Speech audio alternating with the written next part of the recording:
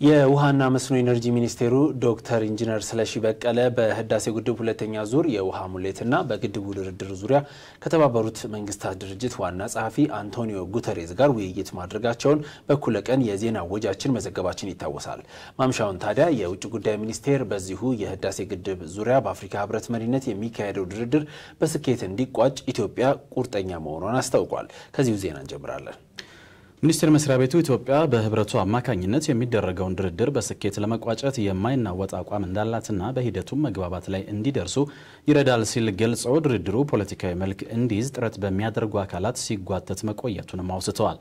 ሚኒስቴር መስሪያ ቤቱ ኢትዮጵያ ግልጽ አቋሟን አስቀምጣ የድርድር ሂደቱ በፍጥነት እንዲቋጭ ጥረት በማድረግ ላይ ምናትም ብለዋል። ድርድሩ የቆዩ ችግሮችን መፍታት የሚቻልበት እድል እንዳለውና የሶስትዮሽ ድርድሩ ሁሉንም ወገን ተጠቃሚ በሚያደርግ ስምምነት እንዲቋጭ ኢትዮጵያ በቁርጠኝነት ትሰራለች ሲል የውጭ ጉዳይ ሚኒስቴር አረጋግጧል። የአፍሪካ ህብረት ሊቀመንበር በሚያቀርቡት ሀሳብ መሰረት ኢትዮጵያ ለመደራደር ዝግጁ መሆኗንና ሱዳንና ግብፅም ሂደቱ ፍሬ እንዲያፈራ በትብብር እንዲሰሩ ጠይቋል። መረጃውን ያገኘነው ከውጭ ጉዳይ ሚኒስቴር ነው። የፌዴራል መንገድ ፈንድ ጽህፈት ቤት በተገባደደው የ2013 በጀት ዓመት ከ3 ቢሊዮን 189 ሚሊዮን ብር በላይ ገቢ ማሰባሰቡን አስታውቋል። ጽህፈት ቤቱ ያገኘውን ገቢም በበጀት ዓመት ለመሰብሰብ አቅዶት ከነበረው ገቢ የ106 በመቶ ብልጫ መኖሩን ያስታወቀው በነዳጅ ላይ ከተጣለ ታሪፍ፣ ከመንገድ ጠቀሜታ ክፍያ፣ ከተሽከርካሪ ዘይትና ቅባት፣ ከግምጃ ቤት ሰነድ ግዢ እንዲሁም በክብደት ላይ የተመሰረተ የተሽከርካሪ ፈቃድ ማደሻ ገቢውን መሰብሰቡንም የፌዴራል መንገድ ፈንድ ጽህፈት ቤት ለዝግጅት ክፍላችን በላከው መግለጫ አመልክቷል።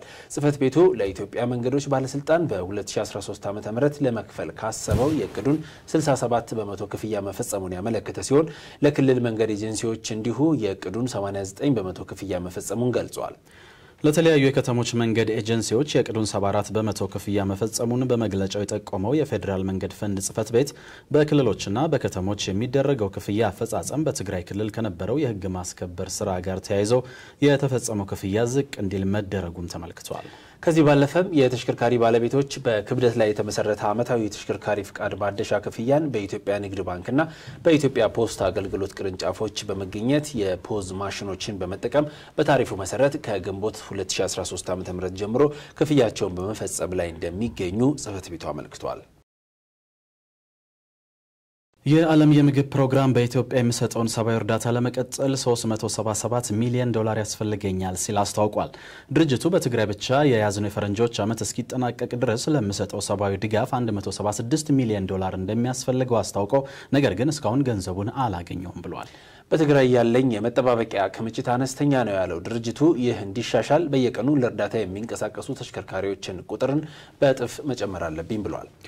በሶማሌ ክልል በአየር ንብረት መዛባት ምክንያት ጉዳት የደረሰባቸውን 2.4 ሚሊዮን ዜጎች እየደገፍኩ እገኛለሁ ያለው የዓለም የምግብ ፕሮግራም በቀጣይ ስድስት ወር ውስጥ በሀገሪቱ የተለያዩ አካባቢዎች ባልተመጣጠነ ምግብ እጥረት የተጎዱ አንድ ሚሊዮን እናቶችንና ህጻናትን ለመደገፍ አቅጃለሁ ሲልም አስታውቋል። ከጎንደርና ኮምቦልቻ የእህል ማከማቻ መጋዘን ድጋፉን እንደሚያደርግ የገለጸው ድርጅቱ በተጨማሪ በሰመራም በኩል ድጋፍ ለመስጠት የሚያስችል እንዲሁም ደግሞ በትግራይ ሀያ ተንቀሳቃሽ ተጨማሪ የእህል ማከማቻዎች ገንብቻለሁ ማለቱ ተናግሯል። ከሁለት ዓመታት በፊት መነሻውን የመን ያደረገው የበረሃ የአንበጣ መንጋ በኢትዮጵያ በተለያዩ ጊዜያት እየተከሰተ በርካታ አርሶ አደሮችን ሰብልና የአርብቶ አደሮችን የእንስሳት ግጦሽ በማውደም የበርካታ ሰዎችን ሕይወት እየፈተነ ይገኛል። ይኸው የአንበጣ መንጋ በየመን፣ በጅቡቲ፣ በሶማሊያና ኢትዮጵያ መከሰቱንና በእነዚሁ ሀገራት በተለያዩ አካባቢዎች እየተስፋፋ መሆኑን በተባበሩት መንግስታት የምግብና የግብርና ተቋም ፋኦ ያወጣው መረጃ ያሳያል። የአንበጣ መንጋው በምስራቅና በሰሜን ምስራቅ ኢትዮጵያ አካባቢዎች በተለይም በአፋር ክልል በኩል መግባቱንና ወደ አማራ ክልል በመስፋፋት በሰሜን ወሎ ዞን በተለያዩ ወረዳዎች መከሰቱም ተገልጿል።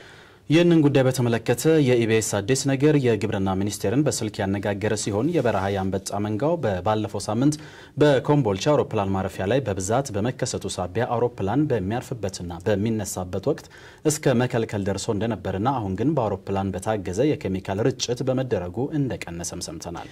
የበረሃ የአንበጣ መንጋውን ለመከላከልና ለመቆጣጠር በሰባት አውሮፕላኖች የታገዘ ስራ እየተሰራ መሆኑንና በሰብልና እንስሳት ግጦሽ ላይ የከፋ ጉዳት እንዳያደርስ እየተሰራ መሆኑን የግብርና ሚኒስቴር አስታውቋል። ዘገባው የፍስሐ ደሳለኝ ነው።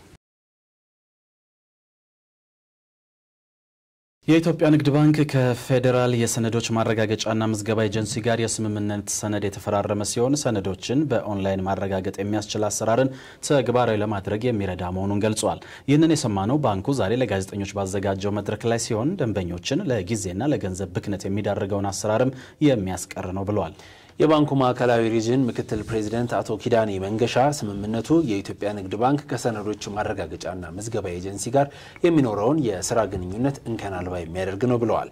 እንዲሁም የፌዴራል የሰነዶች ማረጋገጫና ምዝገባ ኤጀንሲ ዋና ዳይሬክተር በበኩላቸው በኦንላይን ውክልና የመስጠትና የመቀበል ሂደት መጀመሩ ከዚህ በፊት ረጅም ጊዜ ይወስድ የነበረውን አገልግሎት በሁሉም የንግድ ባንክ ቅርንጫፎች በደቂቃዎች ውስጥ ማስተናገድ ያስችላል ብለዋል።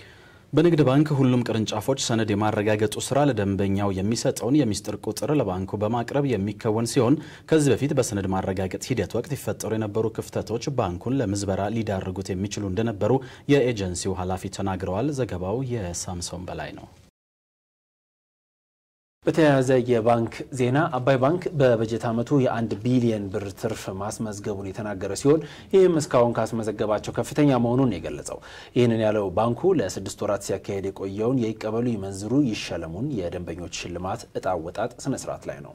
ባንኩ ባካሄደው ስነ ስርዓት ላይ የተለያዩ ሽልማቶች ለእድለኞች የተላለፉ መሆኑን የተናገሩት የአባይ ባንክ ዋና የስትራቴጂና የማርኬቲንግ ኃላፊ አቶ ወንዲፍራው ታደሰ ሽልማቱ የተከናወነው ደንበኞች በህጋዊ መንገድ ምንዛሬን እንዲያከናውኑ ለማበረታታት እንደሆነም ተናግረዋል። ከዚህ በተጨማሪም በበጀት ዓመቱ ባንኩ 375 ሺህ የሚሆኑ አዳዲስ ደንበኞች ያፈራ ሲሆን አጠቃላይ የደንበኞቹን ቁጥር ከ1.2 ሚሊዮን በላይ ማድረሱን ሪፖርተራችን ሳምራዊት ባየ ዘግባለች። የኢትዮጵያን የጫካ ቡና ባለበት አቆይቶ የሚያስተዋውቅ የመረጃ ጠቋሚ የኤሌክትሮኒክስ መጽሐፍ በቴክኖ ሰርቭ ተዘጋጀ። የመረጃ መጽሐፉ በዓለም ዙሪያ በኢትዮጵያ ቡና ንግድ ለተሰማሩ ነጋዴዎች ጠቃሚ ይሆናል ያለው ዓለም አቀፉ የቴክኖ ሰርቭ ድርጅት በተፈጥሮ የሚገኘውን የጫካ ቡናን በማስተዋወቅ በኩል ጉልህ ሚና ይኖረዋል የተባለ ሲሆን በተጨማሪም ከጅማ፣ ከቤንች ሸኮ፣ ኢሉባቡር፣ ከከፋና ባሌ በጣዕማቸውና በደረጃቸው ከበርካታ የገበሬዎች ህብረት ስራ ማህበራት የተሰበሰቡ የቡና አይነቶችም መረጃ አካቷል ተብሏል። መረጃ ጠቋሚው ይህ መጽሐፍ የኢትዮጵያን አይነተ ብዙ ቡናዎች፣ የአየር ንብረት ለውጥ፣ የደን መጨፍጨፍና ባህላዊ የአመራረት ዘዴ ስለተደቀ ነባቸው አደጋ የሚያትተው መሆኑን ሰምተናል። እንዲሁም ኢትዮጵያ በአነስተኛ ገበሬዎች ቡና አምርታ ጫካውንም ሆነ ስነ ምህዳሩን በመጠበቅ በኩል ለየት ያደርጋታል ያለው የመረጃ ጠቋሚ መጽሐፉ የጫካ ቡናን በዚህ መልኩ ማስተዋወቅ በዓለም ገበያ በተሻለ ዋጋ እንዲወጣ በማድረግ አምራቹን የሚያበረታታ ነው መባሉን ዘላለም አባተ ዘግቦታል።